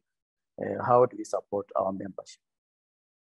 Uh, just to let you know that uh, so far we have been able uh, through this uh, facilitation to cover almost 70% of uh, certified produce organizations. We have reached out to 450 members out of the, the close to 630 members that we have. Yeah, so it looks like we'll still be doing this a little bit more uh, to make sure that uh, all our certified produce organizations uh, start, you know, coming back on their foot, on their feet, and are able to start, you know, to resuscitate their businesses and, and, and move on. So to this, we have uh, supported implementation of quite a lot of measures with the produce organizations. Uh, we are implementing uh, a number of uh, facilities to promote diversification uh, across uh, the POs that are certified. And we are doing this because uh, courtesy to the fund that we have received from BMZ and supported by GIZ, but also internally through our own fundraising facilities. So we have, we are looking to close to the 6 million euros that will be uh, used towards uh, addressing all these aspects of the, the, challenge in terms of resilience, in terms of response, and the emergency measures that we need to put in place. So we are also supporting quite a number of our POs uh, start investing in, in technology-driven uh, equipment and facilities, but also trying to get uh, homegrown solutions uh, to the manufacture, for instance, of uh, sanitizers, uh, making the masks, the face masks, you know, getting to do the PPEs, on the farm and uh, shared across the regions uh, within Africa so that we can have start having a homegrown solution uh, to some of the challenges that we are faced because of unpreparedness when the pandemic uh, came in. We will also want to work towards uh, addressing nutritional needs. As you realize, uh, the pandemic has dealt a big blow on our food baskets, but also on our income, uh, you know, as a farming community. And uh, we need to start thinking on how now we can be able to be food secure, just in the, in the event we still face uh, a severe pandemic like what we faced most of the part last year. So we are supporting a number of organizations now to put up uh, projects that are geared towards uh, self-sustenance in terms of uh, basic nutrition like uh, green vegetables that are accessed on the farm, you know, poultry keeping, you know, you know, you know investing in, in, in dairy farming on the farm so that we can have some kind of a source of subsidized uh, food provision for the membership, wherever they are within the small sector, uh, I mean, the smallholder setup, but also those that are on higher level setup. We will also want to continue supporting our producer organizations, uh, develop uh, capacity to be able to ad address some of the, the gaps in uh, medical access to medical, uh, you know, services on their farms and within the communities.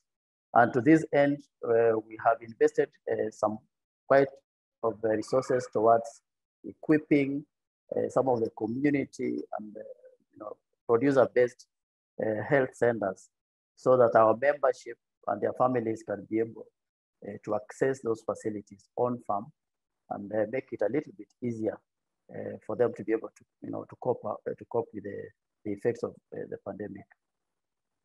In addition, we are looking beyond the pandemic. Uh, I like the idea that uh, Olav mentioned. Uh, he said that the cuttings have been a bit stable in terms of sales and even in terms of pricing. And that speaks to the need for diversification. Uh, I know the flower sector is a sector that has been like uh, all about roses. We produce over 95% of flowers as roses. So Olav, uh, thank you so much for taking the risk in investing some other production lines like, like the cuttings and plants, uh, which then enable you to diversify into other areas and spread your risks uh, to be able to cope with such scenarios that, we, that like what we faced. Uh, those pictures that were being shared by Clement were not good pictures, that flowers that are ready for the markets are being harvested and thrown away uh, you know, as waste. But with a bit of diversification, looking beyond the roses, I think we can start having uh, proper mechanisms uh, to cope with some of these pandemics. I want to believe this is not the last pandemic we are facing as a continent and as a, a you know, a global community. There could be some other pandemics coming and some other challenges. And the secret is in, in diversifying our production lines, but also diversifying our income uh, resources. We are lucky across the continent that we now have uh, the African Free uh, Trade Area agreements uh, signed up by almost 54 out of the 55 African countries. This opens the platform for us to start engaging on how we can think about growing the local trade, the intra-Africa trade across countries, across regions of the African continent. Uh, Olav, you'll tell us the secrets and Clement on how we can start making our African men buy flowers for their spouses, buy flowers for their daughters. Yeah, because look at our population, close to 1 billion now. Uh, this is a huge market that could come in to help us uh, consume part of what we produce on the continent and therefore be a ready solution to the market's question that we have been asking because we are heavily dependent on export markets. You will wonder why, uh, for, for instance, Ethiopia in the flower sector was one of the countries that was not so much affected. Uh, what have they done as a country that the rest of the other countries like Kenya, Uganda have not done uh, in, in terms of how they manage the business landscape?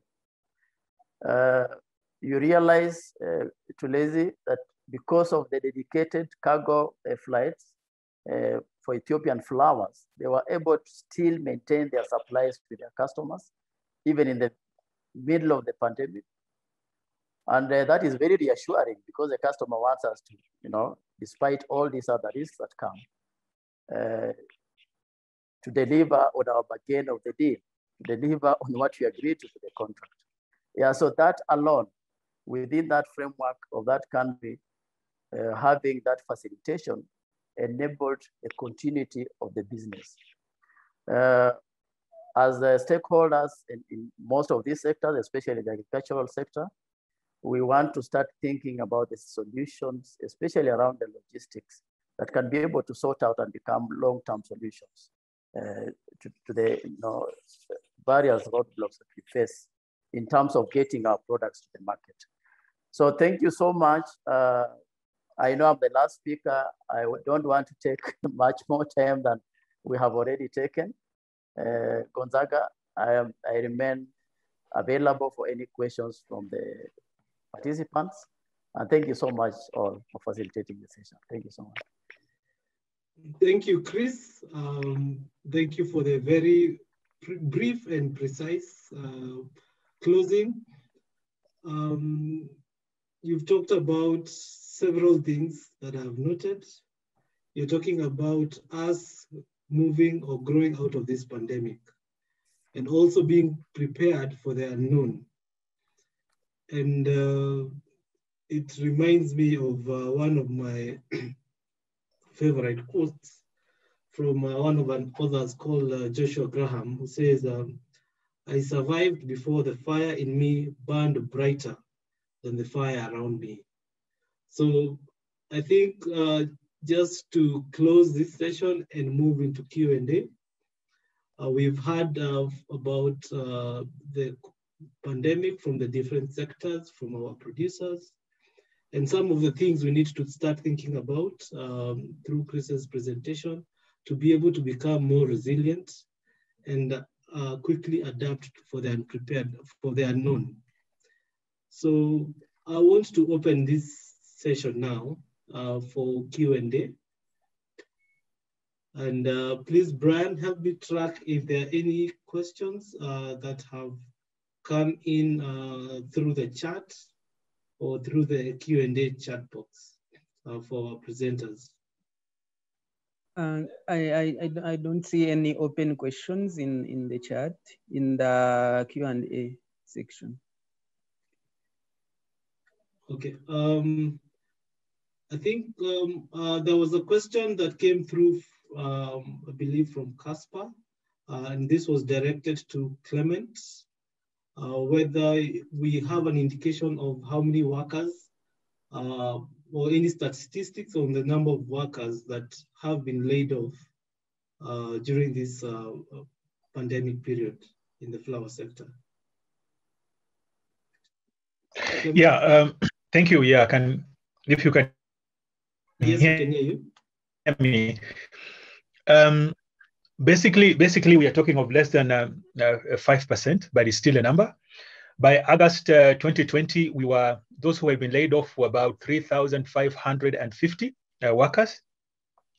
It's still it's still a significant number. You can you can look at it and say, yeah, it's a small number compared to all the workers within the industry, but you can imagine if over 3,500 uh, people uh, are jobless today, what it means for income, we always multiply that against uh, four or five uh, in terms of a household. So how many people are missing an income and therefore translating into a livelihood uh, out of that number, the number becomes even even bigger than uh, we imagined. So those are the numbers we are we are basically we're basically looking at we have, uh, as we have gone through the recovery of the of the industry, we have had uh, a lot of people uh, coming back. But uh, as I mentioned in the presentation, there is um, uh, some some of those who are permanent workers have been turned into casual laborers because of the uncertainty and also because of challenges on on cash flows and that is not that is not good for the sector. We will need to expand and those who are permanent i mean we get more of those who are casual into the permanent side because of the benefits and the stability on employment.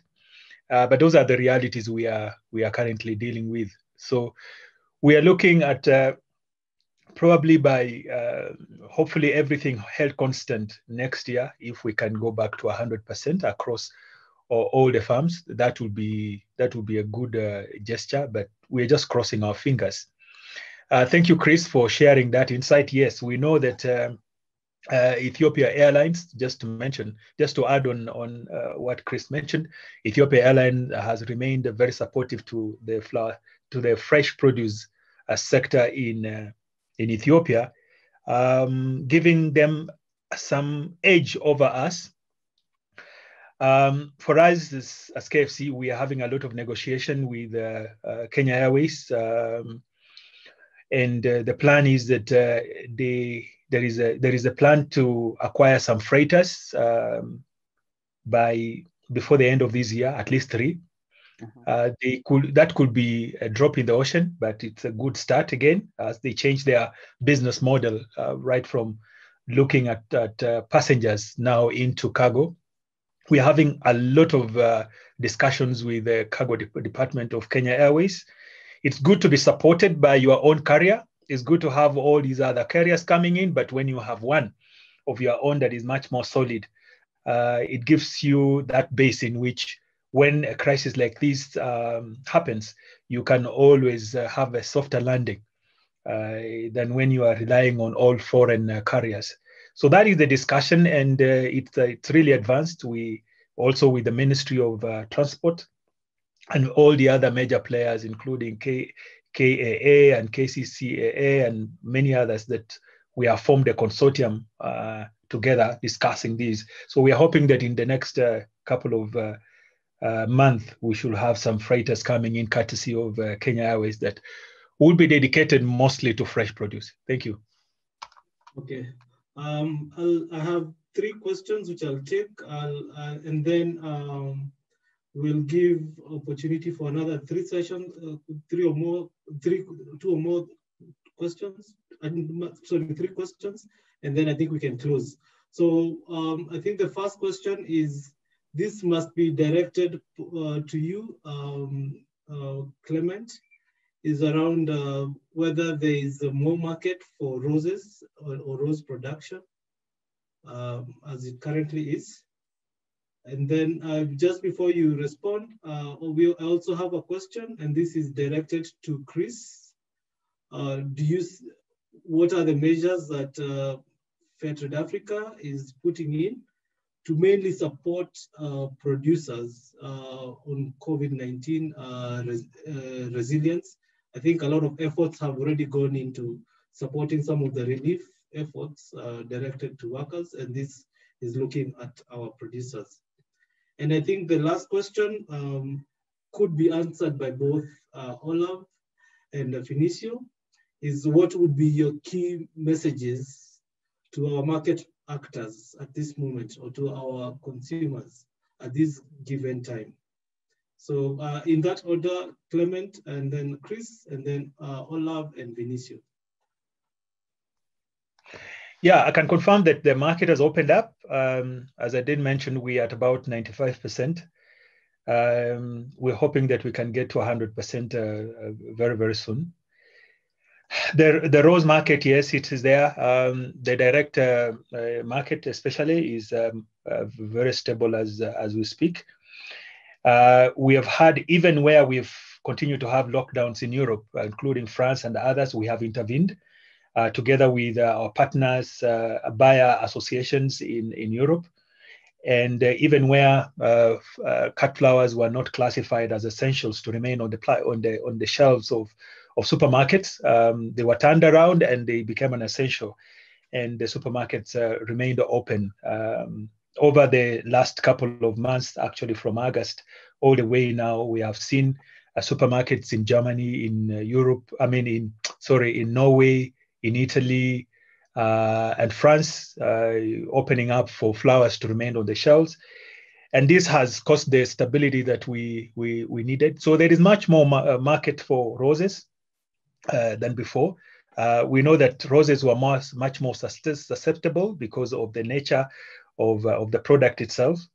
Uh, and also because for us as Kenya, that is our, our major product. So anything touching on roses was touching almost the entire uh, cut flower industry.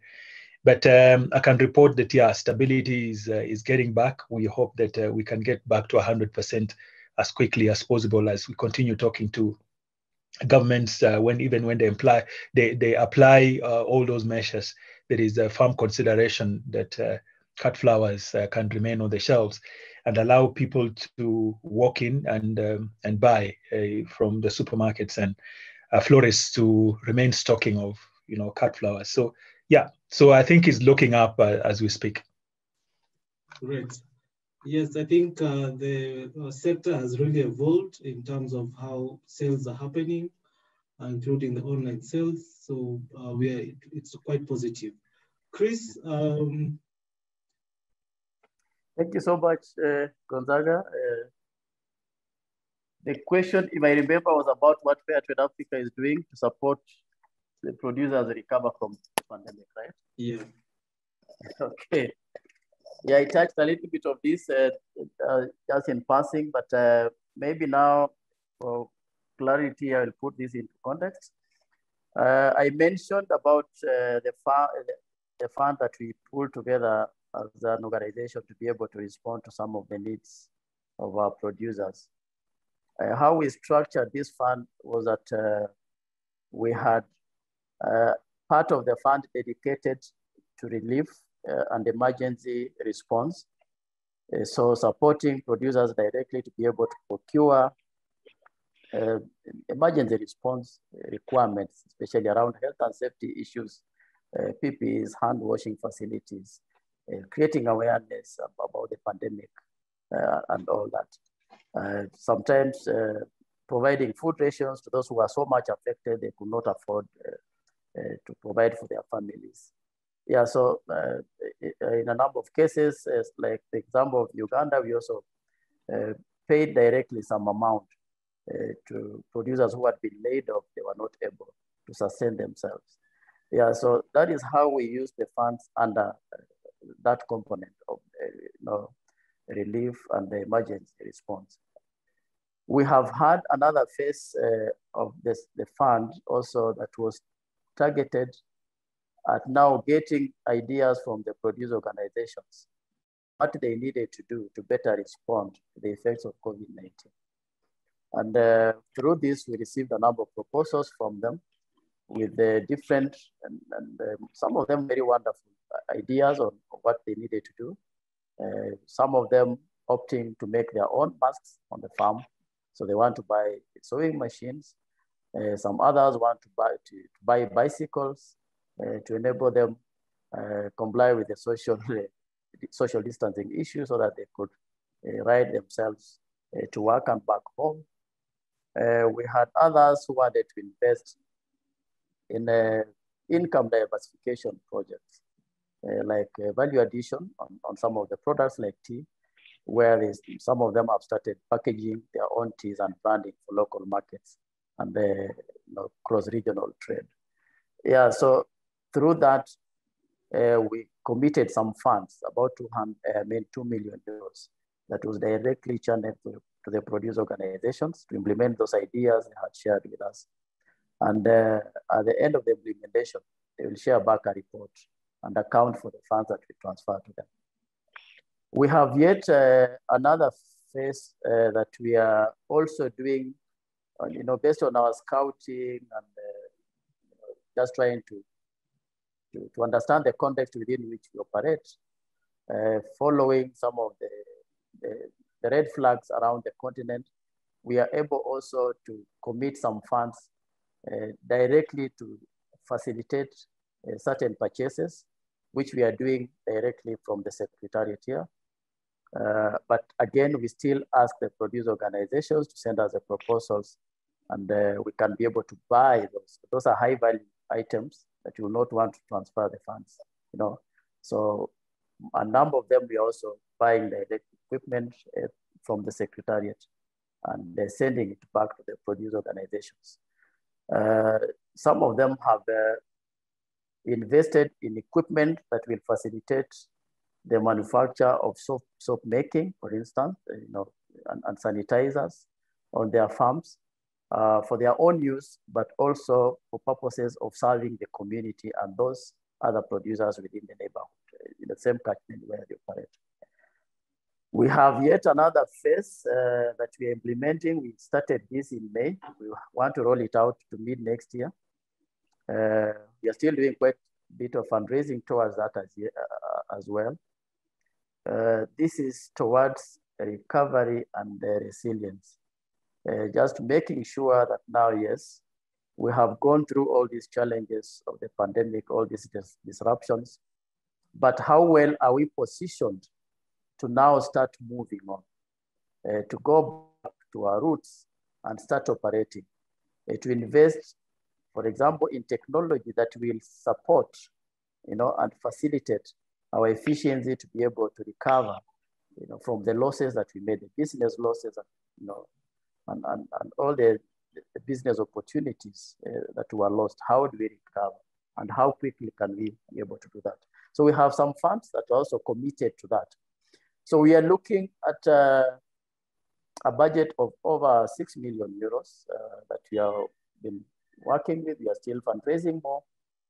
But with the time, we hope that now the produce organizations, you know, can, can pick it up, you know, they can find their footing and start moving, develop resilience, uh, fully recover, and uh, start getting back to business as it was. Of course, not as it was before, but in a way that guarantees they still realize their bottom line and they have business continuity.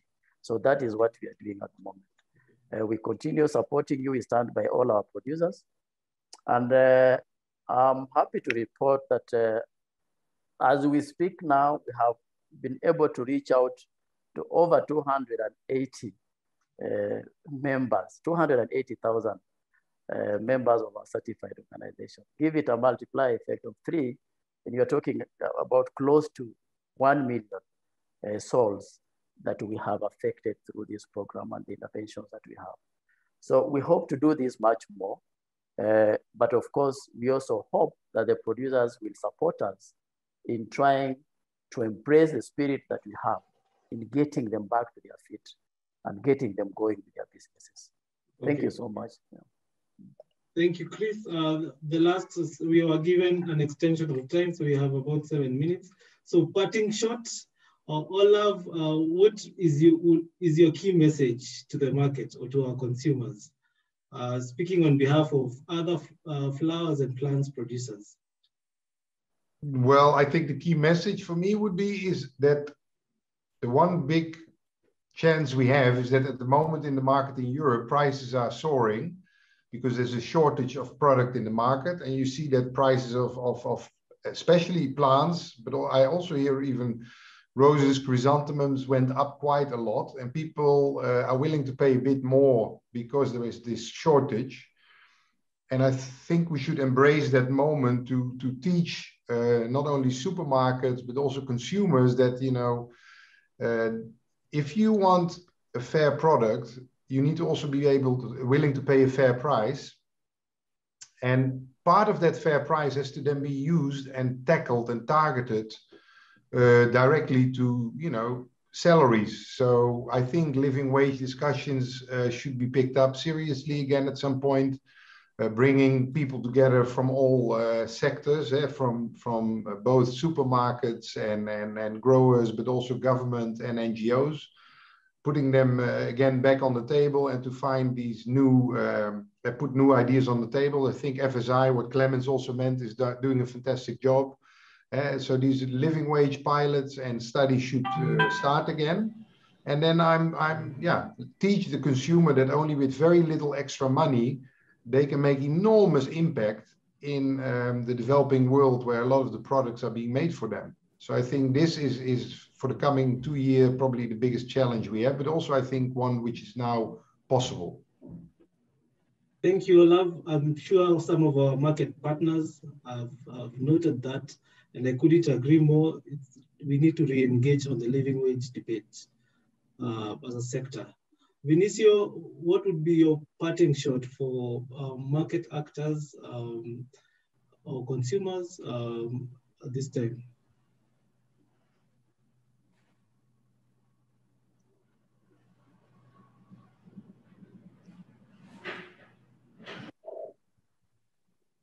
Okay. Uh,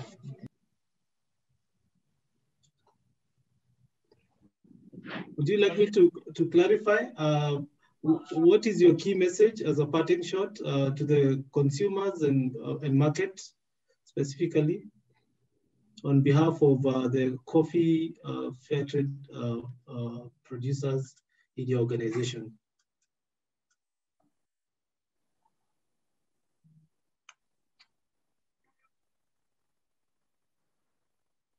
Okay, Gonzaga, can I just in interject a little bit as Yeah. as uh, Vinicio comes in? Yeah. Yeah, Eh, I'd like you. Sí, sí, sí es muy importante eh, ya al cierre de este foro establecer eh, qué acciones podríamos tomar con la finalidad de paliar los efectos negativos de la pandemia del COVID. La una es trabajar en tener acceso a estos diferentes fondos que se están generando de una manera específica para poder es ayudar sobre todo a estos sectores más vulnerables como son los pequeños productores. Eh, hay iniciativas a nivel de gobierno, a nivel de cooperación internacional, entonces creo que eso debería ser una de las primeras opciones, eh, poder acceder eh, a estas ayudas. Y de una manera interna, creo que el tema de la pandemia nos marca un antes y un después.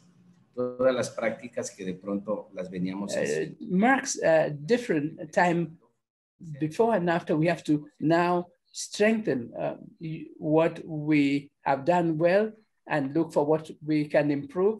And it's very important to to uh, learn this, to have a capacity, uh, since the uh, market is reactivating.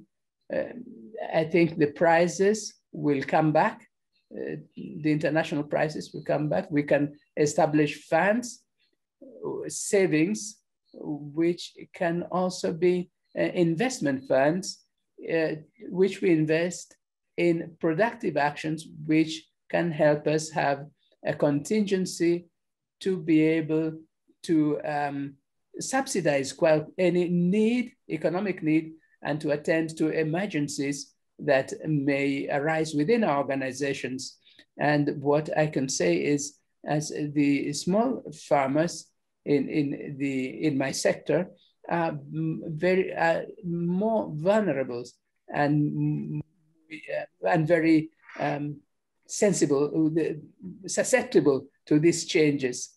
And uh, we, so the capacity to establish these mechanisms can that can reduce the uh, negative effect is important.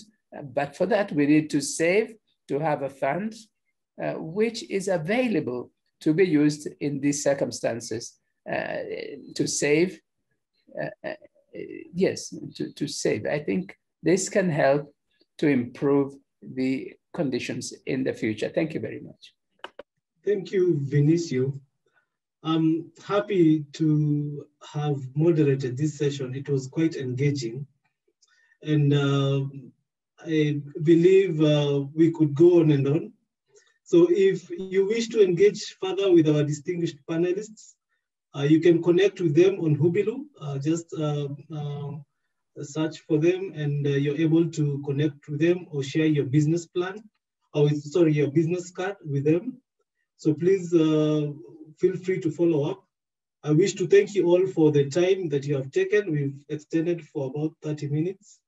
And thank you again uh, for uh, the patience uh, in sitting through this forum. And we had quite a big turnout for this session. Uh, thank you once again, our distinguished panelists, and thank you for the time and for the insights. I think they, has been, they have been very valuable. The parting shots are also very strong, and uh, we have taken note of them as an organization. And I believe others have had the opportunity to learn a lot about what we can do to improve and to become more resilient and uh, to grow um, through and uh, through this pandemic. So without uh, further ado, I would like to wish you a nice evening for those people uh, towards the east and uh, for those joining from the western uh, uh, part of uh, the Greenwich Meridian, I want to wish you a lovely uh, day. Thank you very much and goodbye. Thank you, Gonzaga. Thank you so much, everyone. Bye. Thanks a lot. Goodbye. Okay, bye.